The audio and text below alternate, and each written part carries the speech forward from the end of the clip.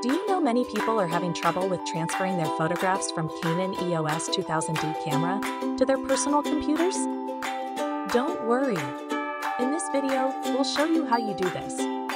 Let's start. Step 1. Resize image settings. Firstly, go to your camera settings to resize the image if required. Step 2. Confirm image size. Pick an image size from the notified screen and hit the correct button to confirm. Step 3. Choose images to send. Now choose to send the pictures from your device. Step 4. Wait for transfer. The chosen images will then be dispatched to your computer. Wait until the screen returns to its initial display after completion. Step 5. Repeat for more images. For sending more images, simply go back and go through steps 1 to 4 again. Step 6. Conclude connection.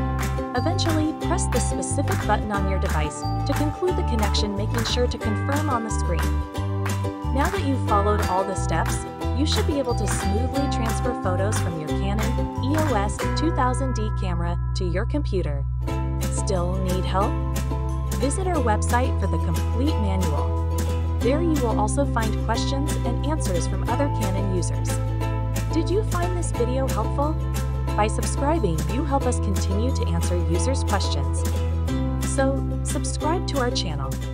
Thanks for watching, and see you in the next video.